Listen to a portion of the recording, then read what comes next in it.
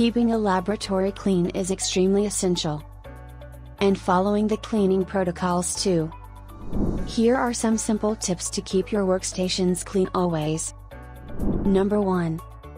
Start with a cleaning schedule. Write down the action plan. Number 2. Use proper cleaning tools. Number 3. Dispose old samples or reagents. Number 4. Defrost lab freezers. Number 5.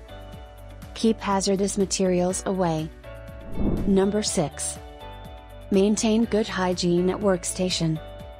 Make sure you follow these and keep your workstation clean before Diwali.